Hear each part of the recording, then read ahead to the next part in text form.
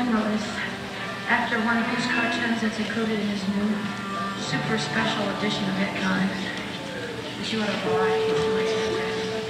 It's called Mr. Natural Visits the City.